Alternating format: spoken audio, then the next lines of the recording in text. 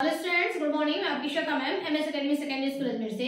बच्चों morning oral में आज हम पढ़ेंगे चैप्टर थर्ड और चैप्टर थर्ड हमारा क्या है? कंडीशन ऑफ़ बॉडी यानी कि हमारे शरीर की कौन कौन से कंडीशन होती हैं, उनमें से कुछ हम इसमें से मीनिंग देखेंगे। ठीक है?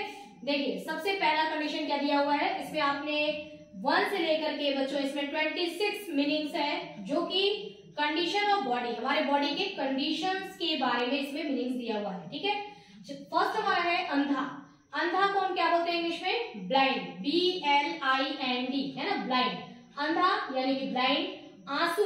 ठीक है? आँसू पे ध्यान रखना कि आ पर यहाँ पर ऊपर चंद्र बिंदु रहता है। ठीक है? आँसू का मतलब क्या होता है? आँसू। जब हम रोते हैं तो जो आँसू निकलते हैं, है ना? आँसू। आँसू को इंग्लिश में क्या बोलते हैं बच्चों? Tears T E A R S tears आँसू यानी कि टीयर्स उल्टी आना। ठीक है? उल्टी आना। हो रहा है उल्टी, है ठीक है? इसको हम क्या बोलते हैं? वोमिटिंग ठीक है ना? एक उल्टी जैसा लगना, ये उल्टी जैसा लगना को हम वोमिटिंग नहीं बोलते बच्चों, है ना? उल्टी होना या उल्टी आना हो रहा है, इसको हम बोलते हैं वॉमिटिंग उल्टी आना मतलब वॉमिटिंग खांसी, है ना? जब खांसते हैं ना हम, खांसी हो जाती है तो खांसी को क्या बोलते हैं इंग्लिश में? कफ। सी ओ यू जी एच है ना? कफ। कफ यानी कि खांसी। खुजली। खुजली का मतलब खुजली। खुजली को क्या बोलते हैं इंग्लिश में? Itch. I T C H itch, खुजली, यानी कि ईच। खून बहना कहीं से हाथ कट गया और ब्लड निकल रहा है? तो इसको हम क्या बोलते हैं? खून बहना।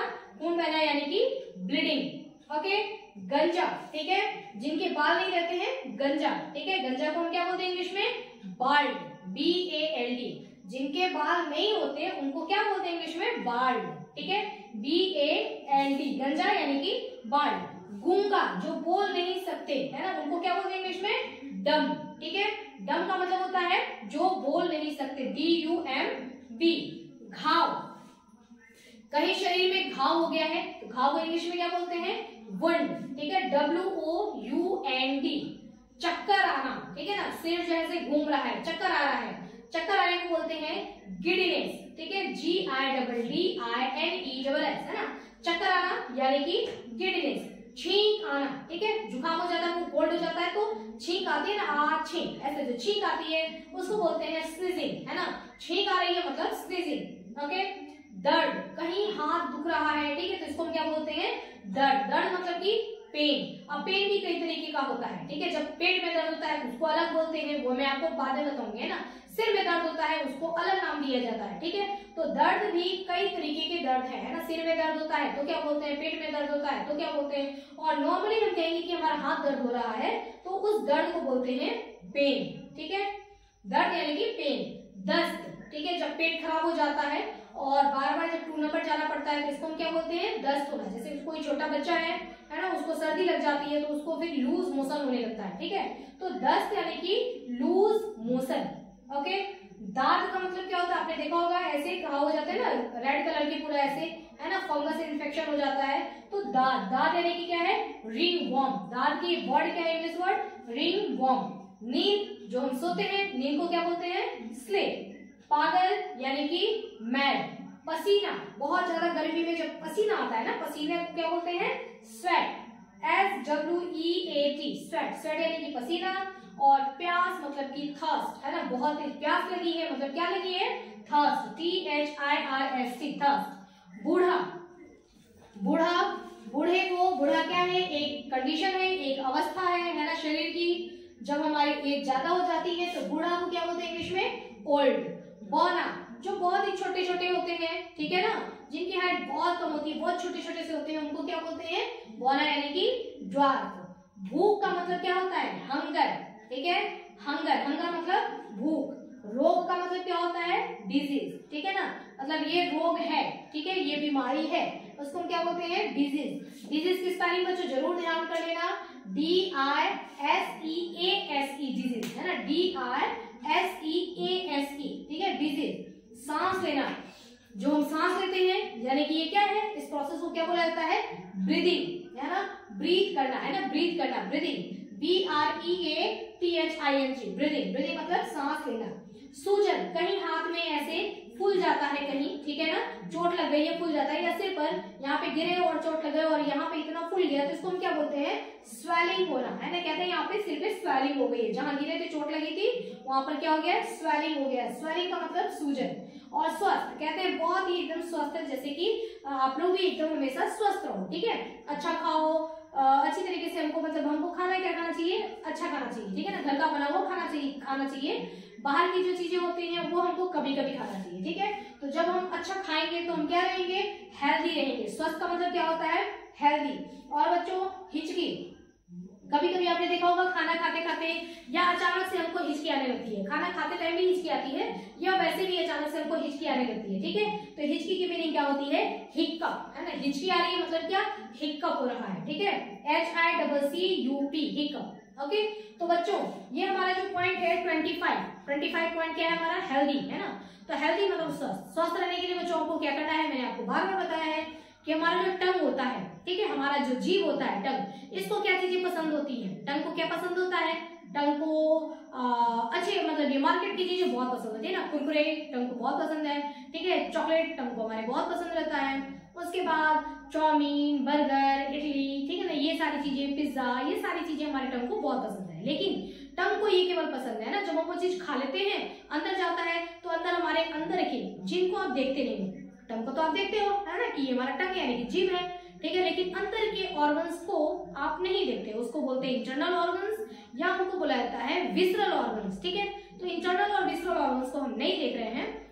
वो होते हैं जैसे हमारा लीवर हमारी किडनी हमारा स्टमक एलिमेंट्री कैनोल हमारा हार्ट ठीक है? ये जो होते हैं, ये सब हमारे अंदर होते हैं, अंदर, ठीक है? अंदर ये फिट है, ठीक है? उनको हम देखते नहीं है। और अच्छा है कि ना देखे ना, बहुत भयानक दिखते हैं। तो ये सारी चीज़ें अंदर होती हैं। उनको हमारे टंग को जो पसंद है ना ये हमारे इंटरनल ऑर्गन को पसंद नहीं है। अब हमारा टंग हमारे टंग ने खाया खूब सारा चाउमीन बर्गर ये सब खाया हमारे लीवर को पसंद नहीं है। हम्म, बिल्कुल पसंद नहीं आया इसको ठीक है? और आपने जो कुछ भी खाया था तो ना हमारी किडनी को पसंद आया ना हमारे लीवर को पसंद आया हमारे हार्ट को भी पसंद नहीं आता है सिर्फ़ हमारे टंग को पसंद आता है ठीक है? तो जो टंग को पसंद है वो अंदर की चीज़ों को पसंद नहीं है और जो अंदर की चीज़ों को पसंद है, वो हमारा टंग पसंद नहीं करता है और हम कभी कभी खाते खाते बोर हो जाते हैं, ठीक है? जैसे घर का खाना, है ना? चपाती खा रहे हैं, सब्ज़ी खा रहे हैं हरी हरी ग्रीन वेजिटेबल्स खा रहे हैं छाछ हो गया, दही हो गया, दूध हो गया, ठीक है? जो हम घर में खाते हैं, चावल खाते हैं, दाल खाते हैं, सलाद खाते हैं ना? सलाद को बोलते हैं सैलड है ना सैलड खाते हैं। ये सारी चीज़ें हमारे टंग को बहुत ज़्यादा, बच्चों के बच्चों के तो टंग को बहुत ज़्यादा पसंद नहीं आती है। लेकिन अंदर हार्ट आपका एकदम खुश हो जाता है वो पार्टी हो गई। लीवर हमारा एकदम खुश हो जाता है पार्टी हो गई, ठीक है ना? तो हमारे हार्ट को लिवर को किडनी को, इन सबको ये सारी चीज़ें बहुत पसंद होती है जो हमारे टंग को पसंद नहीं होती है, ठीक है? आप कुरकुरे खाते हैं, आपके टंग को पसंद आता है, लेकिन आपके अंदर, जब यहाँ से अंदर होकर के जाता है ना लीवर में मतलब स्टमक में गया, ठीक है? और जब स्टमक से मतलब पता पड़ता है लीवर को कि वो हो क्या खाया है? पूछता है स्टमक से, क्या खाया बच्चे ने? तो बच्चे ने खाया कुरकुरे। तो हमारे लीवर को पसंद नहीं आता है, ठीक है? तो हम देखो, अंदर की चीज़ों को, जो चीज़ें पसंद होती है ना, जो हम खाते हैं, और हमारे लीवर को पसंद होगा, किडनी को पसंद होगा, इनको जो चीज़ें पसंद आएँगी तो वही खाने से हम क्या होंगे? हेल्दी ठीक है ना? यानी कि हम क्या रहेंगे?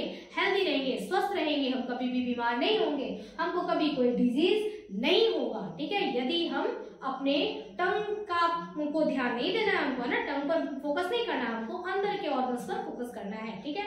टंग को कभी कभार टंग को भी पार्टी दे देना कभी कभार ठीक है ना? संडे से ट्यूशन में टंग को पार्टी दे दिया, लेकिन बाकी डेज़ मंडे से लेकर सैटरडे क्या करना है हमको? अंदर के ऑर्गन्स पर ध्यान देना है तुमको जो पसंद है, वही खिलाएँगे, ठीक है बच्चों? तो बच्चों, आज हमने क्या पढ़ा? हमने पढ़ा कंडीशन ऑफ़ द बॉडी ये हमारा चैप्टर थर्ड है मॉर्निंग ओरल का। ये सारा काम आपको कहाँ करना है? ये काम आपको करना है मॉर्निंग ओरल की कॉपी ठीक है? सभी बच्चों के पास मॉर्निंग ओरल की कॉपी है, ठीक है? तो अब देखिए, जो मैंने ये वीडियो आपको यहाँ पर पढ़ाया, ये आपके मोबाइल पे, आपके अपने पेरेंट्स के मोबाइल पर ये वीडियो आ जाएगा। ये छोटा सा वीडियो है, सिर्फ़ आप उतने देर ही मोबाइल इस्तेमाल करना वो भी बड़ों की, बड़ों के प्रेजेंस में, ठीक है ना? आप अपने कोई भी जो आपके घर में बड़ा है, आपकी मम्मी, पापा, दीदी, भैया, दादा, दादी, जो भी आपकी पढ़ाई में हेल्प करते हैं, उनके सामने बैठ करके आपको ये वीडियो देखना है। इसको सुनकर राइटिंग में अपनी कॉपी पर काम करना है। यदि आपने पहले ही काम कर रखा है और वहाँ पर राइटिंग अच्छी नहीं है तो वापस से इसको सुंदर राइटिंग में काम कर लेना ठीक है? और ये सारे मीनिंग्स आपको क्या करने हैं? लर्न करना है। सब आपको याद करना है और सिर्फ़ याद ही नहीं करना बच्चों, इसको यूज़ करना है, ठीक है? सिर्फ़ याद करके रख दिया, ठीक है? और जो है बोल रहे हैं, वैसे कह रहे मेरे को दर्द हो रहा है, ठीक है? आप बोलिए कि मुझे पेन हो रहा है है ना? वर्ड ये सारे जो वर्ड लिखवाए गए हैं, ये डेली इस्तेमाल वाले हैं, है ना? आपको इसको यूज़ करना है। बातों बातों में इसको यूज़ में लेना है। इसको केवल कॉपी पर लिख करके और लर्न करके रख नहीं देना है ना। केवल ये हमारे एग्ज़ाम के लिए नहीं है, बल्कि हमारे डेली यूज़ के लिए है ओके ये वीडियो से आप घर में रिवीजन कर सकते हैं और आपके पेरेंट्स को भी पता चलेगा कि ये चीज़ें पढ़ाई गई हैं। मैंने आपको ये सारी चीज़ें याद याद करवा दिया है मॉर्निंग ओरल में, ठीक है? तो आप इसको घर पर भी पढ़ सकते हैं। उसके बाद ये सारी चीज़ें आपको टीचर्स भी क्लास में पढ़ा देंगे, ठीक है ना? मॉर्निंग ओरल का जो क्लास होता है, जो टीचर्स क्लास लेते हैं, उसमें आपको ये सारी चीज़ें करा देंगे, ठीक है? तो आपको ये डबल और ट्रिपल हो गया, है ना? ये आराम से आप घर पर भी जब चाहे तब आप रिविजन कर सकते हैं, ठीक है बच्चों? तो आज के लिए इतना ही। स्टडी करते रहना। ओके बच्चों नेक्स्ट डे